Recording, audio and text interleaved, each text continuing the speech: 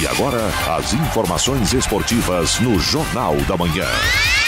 Rádio Jovem Pan. Esportes.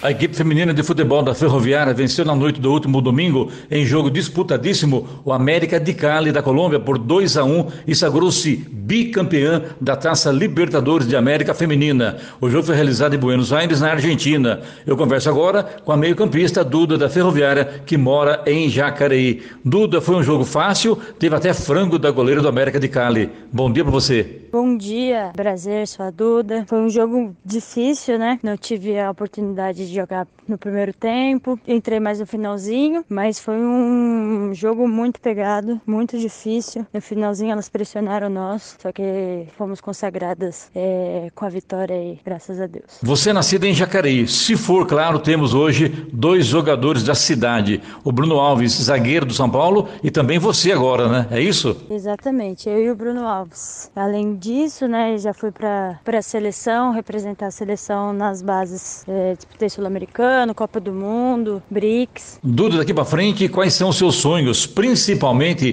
com relação às convocações para a seleção brasileira?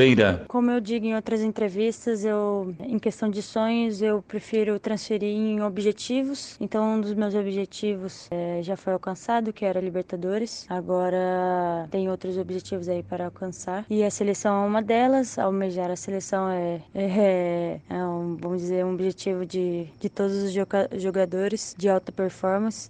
Então, trabalhar firme aí para que eu possa ser convocada. Eu conversei aqui no Esporte, Jornal da Manhã da Rádio Jovem Pan, com a Duda, meio-campista ferroviária, que agora é campeã da Libertadores de América. Duda, bom dia a você, muito obrigado e sucesso na sua carreira. Bom dia, muito obrigado pela mensagem. Estou muito feliz com essa, com essa vitória, com, com este campeonato que conquistamos, né? A América é nossa. Obrigado por todo o apoio aí pela torcida.